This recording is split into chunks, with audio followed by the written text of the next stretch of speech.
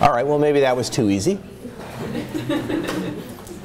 the height goes down. Gravitational potential energy is going down.